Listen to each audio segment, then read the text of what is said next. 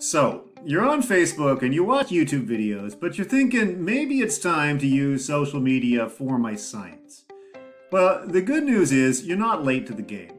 The numbers aren't well documented, but only a minority of scientists are using these platforms to communicate with the public. Which do you use?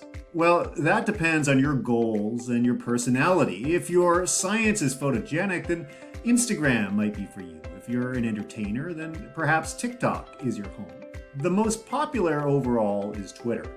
It's a great compromise between media and text, and it facilitates fast conversations. Plus, it's where the traditional media and your colleagues are.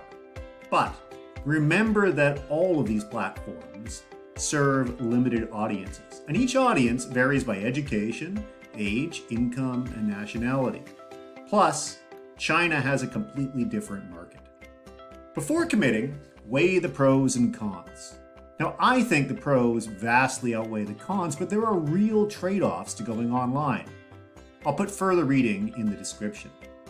Okay, you've committed, and you're going to be an outreach master. In fact, you're going to be the next Bill Nye. Reality check. You're not. The average scientist has followers in the hundreds. Only a small percentage break the 1,000 mark, and a truly infinitesimal number get beyond that. But that's okay. Even if you start with mostly your peers, you're communicating and you'll benefit from that exchange. As you continue posting, your following will grow, and with it, your public reach and impact. So, how do you grow your followers? Well, obviously, you've got to make content, but the content also has to be good, which begs the question what is good content?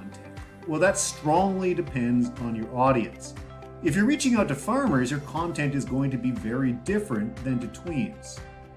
I've found the following resonates things that entertain or add value to news. Images always help, as does a sense of humor, and if you're willing to take the risk, getting a little personal. That's my approach. Your mileage may vary. Also, as a caveat, I'm not an influencer. But you know who is an influencer? Actual influencers. As a demonstration of the power of social media for networking and knowledge exchange, I reached out and I asked some. You can check the whole thread out, but these are working scientists who have won Twitter. They're the SciComm elite. Each has tens or hundreds of thousands of followers, and their advice is nicely summed up by this response by Steve Gibbons. Have fun, be honest, share what excites you, block the trolls without mercy, and above all, be kind.